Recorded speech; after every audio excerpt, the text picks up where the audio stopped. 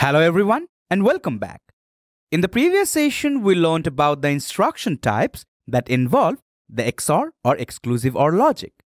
In this session, we are going to learn about the instruction types CMA, CMC, and STC. These instructions involve the NOT logic. So without any further ado, let's get to learning. Coming to the topics that we are going to cover in this session, at first, we will learn about the instruction type CMA, and thereafter, we will learn about the instruction types CMC and STC. Now, you might be wondering why we are learning about CMA separately, but on the other hand, we are learning about CMC and STC together. Well, the reason for that I'll explain later. So let's now focus on the first instruction type of the day, that is CMA.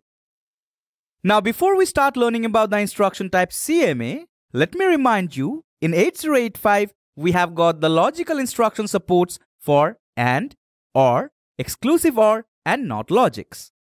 And so far we have seen these three. Today we will focus on the NOT logic. Now coming to the NOT operation, this is, unlike the previous three, an unary operation.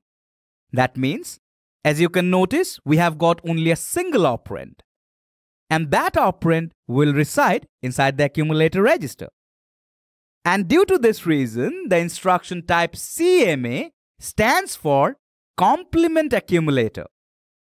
Basically, execution of this instruction CMA will complement the content within the accumulator. Now, if you remember, in case of the previous instructions that we have learned, I mean the instructions which involve AND, OR, and XOR logic, the status of the flags register was being affected. But this time, no flags are affected. Therefore, execution of the instruction CMA, which is going to in turn complement the contents of the accumulator, is not going to affect any flags within the flags register. Now, if we talk about the CMA instruction, since we are not sending any data Therefore, this instruction doesn't fall under the immediate addressing mode. Now notice another thing, we are not explicitly mentioning any registers. The accumulator is mentioned within the mnemonic itself. Due to this reason, it also doesn't fall under the register direct addressing mode. Now within the instruction itself, since accumulator is mentioned, therefore, the 8085 microprocessor seeing this instruction will know what it is supposed to do. So CMA instruction is an implied addressing mode instruction, which means what is to be done has been implied by the mnemonic itself. Now if we talk about the CMA instruction size-wise, it falls under the 1 byte long instructions category. Now let me illustrate what it will perform. Say within the accumulator register, we have got the value 1, 2. Now if we execute the instruction CMA, the value which is already inside the accumulator, that is 1, 2, which in binary is 0001, followed by 0010, this will now be complemented. Now what do I mean by complementation? Well, the bits which are zeros will be converted to 1 and the bit which is 1 will be converted to 0. So what will happen for these two? Well, these will be converted to 1s. Now here as you can see, it is 1 so complement of that is 0. Now the most significant 3 bits all are zeros. Therefore, the complements of these three are going to be 1, 1, 1. So by the end of this instruction's execution, within the accumulator register, we will have these 8 bits. Can you figure out the hexadecimal equivalent for this? Well, 1110 is 14 in decimal and in hexadecimal it is E. Whereas 1101 is 13 in decimal, well in hexadecimal, it is D. So within the accumulator register, for the ease of our readability, we can say that the value has been updated as ED after the execution of the instruction CMA. Now like I told you, the execution of this instruction is not going to affect any of the flags. Therefore, this will result only in the complement value that too within the accumulator. Now do remember, this instruction is specific to the accumulator register. In 8085 microprocessor, we don't have any variations of this which will be able to complement the contents of the GPRs. So in order to complement any value which will be residing inside the GPRs or in the memory location, at first that will have to be moved inside the accumulator. Then execution of the CMA instruction will complement the value. And once the complementation is done, if we want to send the data back to its source location, we will have to execute the data transfer instruction STA. That is, store the contents of the accumulator into a specific memory location. And in case we want to store the value back to the GPR where it was previously in, we will have to execute the move instruction. So that is all about the instruction type CMA. Do remember, this instruction falls under the 1 byte long instructions category. Let's now focus on the next instruction types CMC and STC. Now the reason we are going to learn about the instruction type CMC and STC together is these instructions actually operate on the carry flag. Coming to the instruction type CMC, it stands for complement the carry flag. Notice where the letters CMC are coming from. C and M are coming from C and M of complement and the last C is coming from the carry flag C. Now this instruction CMC also falls under the 1 byte long instructions category and let me show you how it is going to work. Say within the flags register, initially the carry flag is set. That is, the carry flag's value is 1.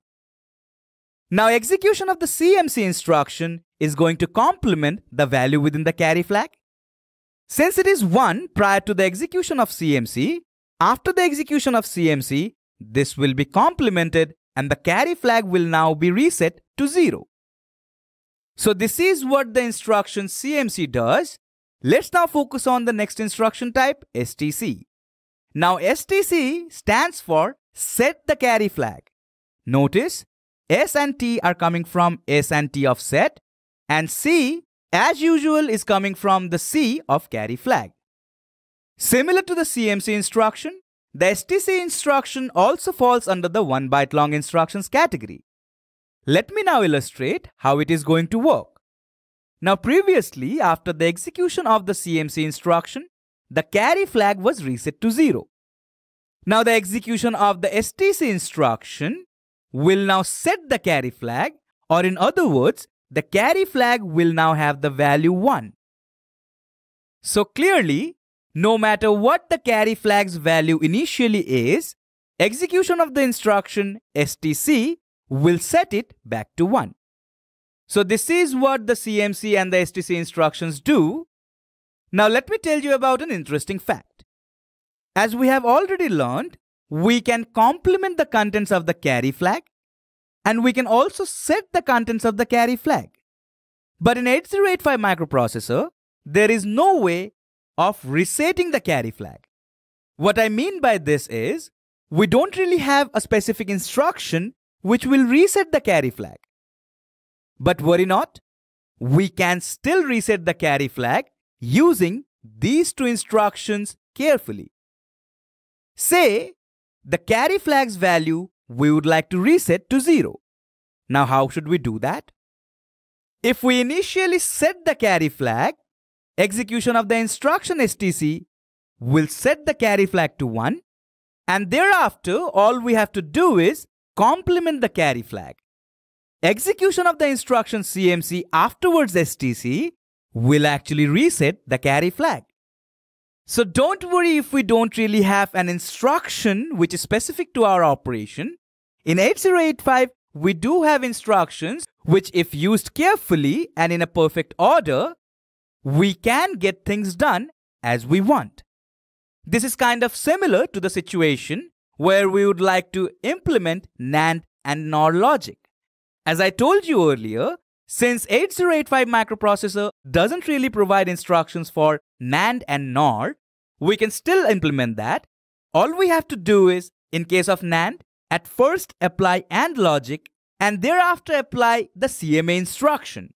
Similarly, in order to implement the NOR logic, at first we will execute the instructions which help us implement the OR logic, that is, the ORID8 and the ORAR, these two instructions, and thereafter if we execute the CMA instruction, that will result in the NOR logic.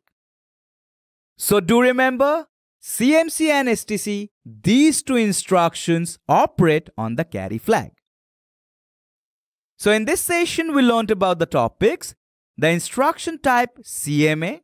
This instruction falls under the 1 byte long instructions category and it helps us get the complement of the entire content of the accumulator.